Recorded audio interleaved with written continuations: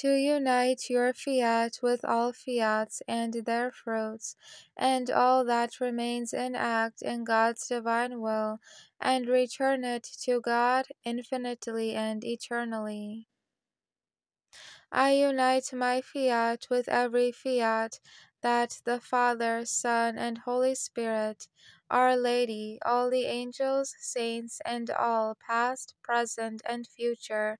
ever have, should, or will pronounce in your divine will, Lord, according to your eternal plan for the very essence and act of their beings throughout time and eternity.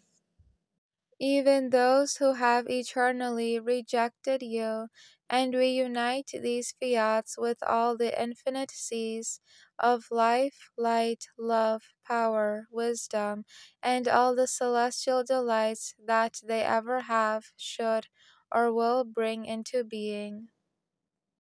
and we pour them through and with all the life, light, love, wisdom, power, and celestial delights of every kind that already remain in act in your eternal divine will, ad intra, ad extra, and we pour them into the bosom of the eternal Father, infinitely and eternally.